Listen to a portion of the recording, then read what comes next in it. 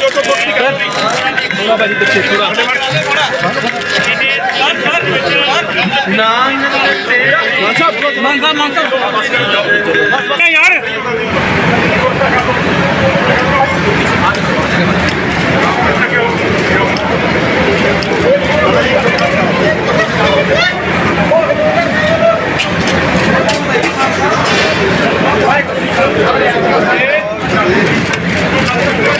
ਸਾਹਿਬ ਕੀ ਕਹਿਣਾ ਚਾਹੋਗੇ? ਅੱਜ ਫੇਰੀ ਤੇ ਆਏ ਹੋ ਕੀ ਕਹਿਣਾ ਚਾਹੋਗੇ? ਗੁਰੂ ਸਾਹਿਬ ਦਾ ਆਸ਼ੀਰਵਾਦ ਲੈਣ ਆਇਆ ਪਰਮਾਤਮਾ ਸਮਤ ਬਖਸ਼ੇ।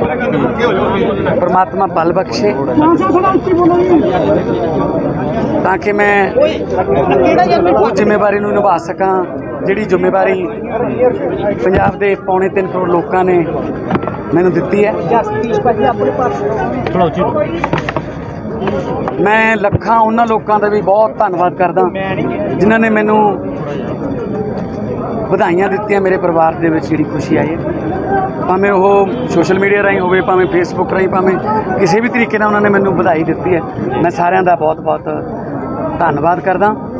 ਤੇ ਆਉਣ ਵਾਲੇ ਸਮੇਂ ਦੇ ਵਿੱਚ ਪੰਜਾਬ ਦੀ ਤਰੱਕੀ ਲਈ ਹਮੇਸ਼ਾ ਕੰਮ ਕਰਾਂਗਾ ਮੱਤੇਵਾੜਾ ਜੰਗਲਾਂ ਬਾਰੇ ਅੱਜ ਅਨਾਉਂਸਮੈਂਟ ਕੀਤੀ ਥੋੜੀ ਡਿਟੇਲ ਦੇ ਦਿਓ ਕੀ ਕੀਤਾ ਜੀ? ਉਹ ਸੀ ਉਹ ਕੇਂਦਰ ਸਰਕਾਰ ਨੇ ਭੇਜੀ ਕੈਪਟਨ ਸਰਕਾਰ ਨੂੰ। ਕਿ ਉੱਥੇ ਇੱਕ ਟੈਕਸਟਾਈਲ ਇੰਡਸਟਰੀ ਲਾਉਣੀ ਹੈ।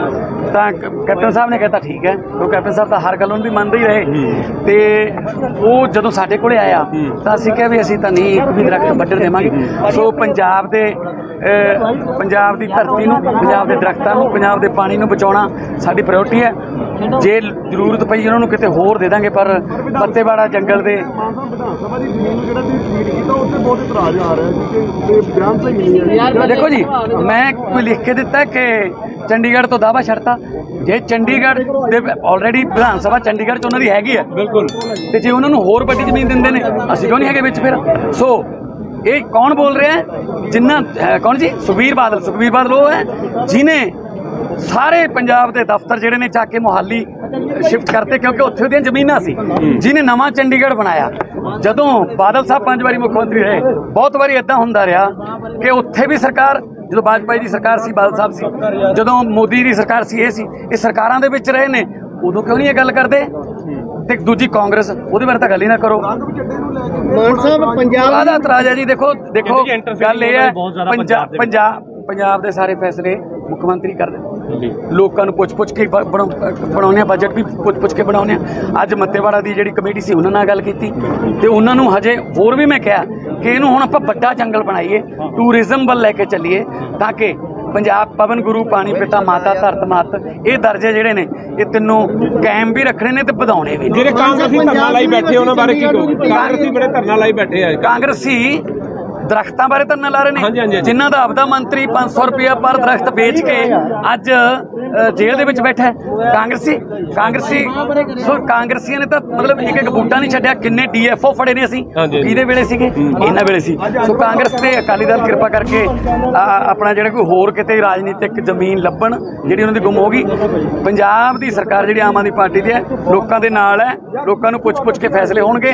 ਔਰ ਬੜੇ ਆਉਣ ਵਾਲੇ ਦਿਨਾਂ 'ਚ ਤੁਹਾਨੂੰ ਬੜੇ ਵਧੀਆ ਵਧੀਆ ਫੈਸਲੇ ਵੀ ਤੁਹਾਨੂੰ ਸੁਣਨ ਨੂੰ ਮਿਲਣਗੇ ਤੇ ਪੰਜਾਬ ਨੂੰ ਦੁਬਾਰਾ ਪੰਜਾਬ ਬਣਾਉਣ ਦੀ ਜਿਹੜੀ ਲੜਾਈ ਹੈ ਰੰਗਲਾ ਪੰਜਾਬ ਬਣਾਉਣ ਦੀ ਜਿਹੜੀ ਅਸੀਂ ਮੁਹਿੰਮ ਸ਼ੁਰੂ ਕੀਤੀ ਹੈ ਆਉਣ ਵਾਲੇ ਕੁਝ ਦਿਨਾਂ 'ਚ ਹੀ ਤੁਹਾਨੂੰ ਪੰਜਾਬ ਦੇ ਰੰਗ ਬਦਲਨੇ